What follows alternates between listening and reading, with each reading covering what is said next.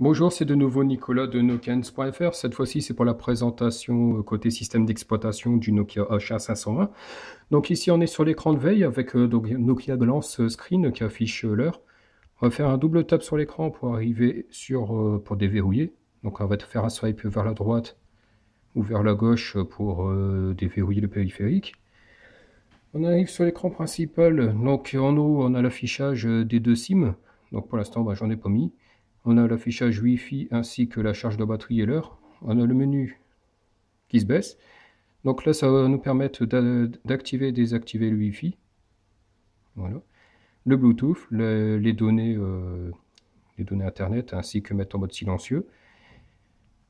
On remonte le menu. Niveau icônes, on retrouve, bah, c'est exactement les mêmes icônes qu'on retrouve sur le Nokia 9, euh, donc Migo Armatan. C'est pour le téléphone, contact, messagerie, ainsi de suite.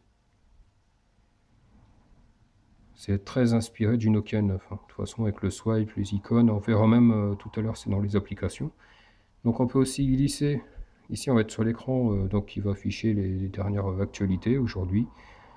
Donc euh, là, les dernières applications que j'ai démarrées, mais on a les notifications, ainsi de suite.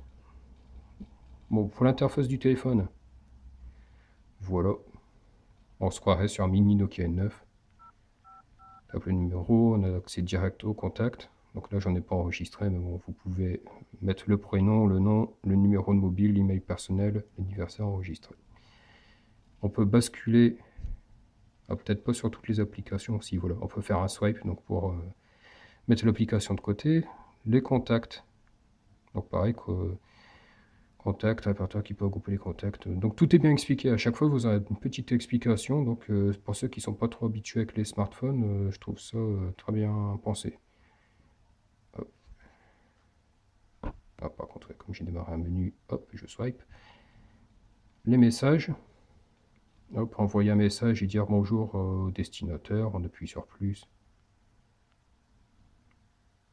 Voilà, ajouter un destinataire, ainsi de suite. Écrivez votre message. Donc voilà, c'est pas pratique parce que je suis derrière la caméra. Donc le clavier, bon, c'est bien pensé, hein, ça va tout seul. J'ai tapé Hello. Vous pouvez joindre les fichiers, mettre des smileys Voilà. Donc la petite touche retour si on veut pas faire un swipe. Hop.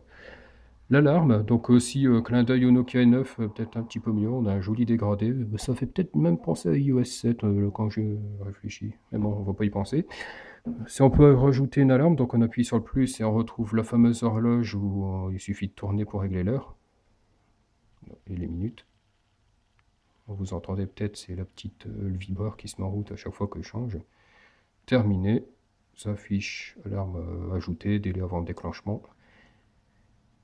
Voilà, faire un swipe. Euh, l'appareil photo, bon, on va, si on va peut-être regarder vite fait, là il n'y aura rien de spécial. Donc, on a le bouton pour prendre la photo, le mode caméra, photo, ainsi de suite. Hop, on va pas y passer la galerie photo, le player multimédia, morceaux, artistes, albums, ainsi de suite. Donc euh, on peut mettre une carte micro SD qui peut aller jusqu'à 32 Go, donc ça peut faire un parfait baladeur MP3. Il y a aussi la radio FM intégrée, l'agenda. Je vais me répéter, mais toujours pareil que sur le Nokia 9, exactement la même interface. Donc ici pour ajouter un événement, là c'est pour l'avoir en affichage en gris, là l'affichage en colonne. si on veut basculer les mois, septembre, octobre, Hop, là j'ai oublié de vous dire la petite horloge euh, qui s'est rajoutée dans la barre pour vous préciser que vous avez mis en fonction de la marche euh, le réveil en fait. Le navigateur internet, bon il est basique, euh, je le trouve très très très très lent. après très lent et encore c'est quand je suis en connexion Wi-Fi. Donc je ne même pas m'imaginer en connexion GPRS, on va dire que c'est pour dépanner. Le store avec ses applications, l'application Facebook, les paramètres, le lecteur vidéo,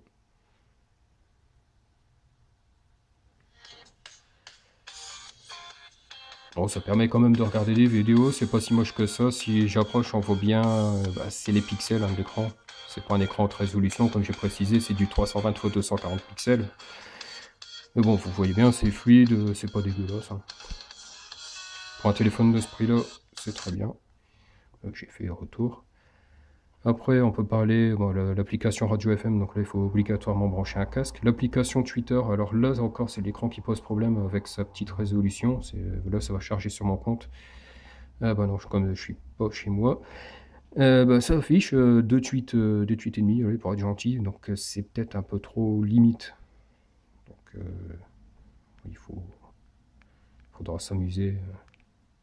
Mais bon, au moins il y a Twitter dessus, ça fonctionne l'application mail, après, par défaut on a l'application de journal, les comptes, euh, calculatrice, tutoriel, le cadeau de bienvenue, le dictaphone, compteur pour les données, prendre des notes, les applications, les jeux, page d'accueil, euh, bah, des petits jeux encore une fois.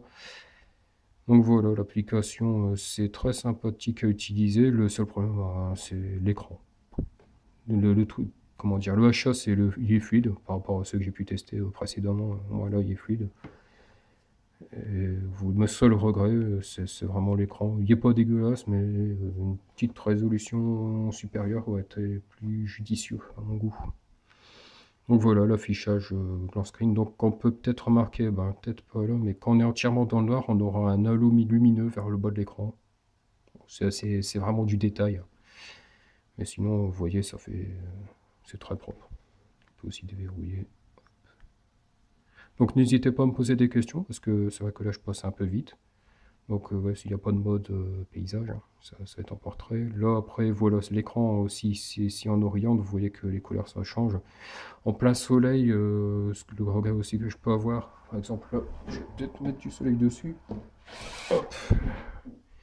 En plein soleil, ben, ça fait un peu beaucoup miroir. Donc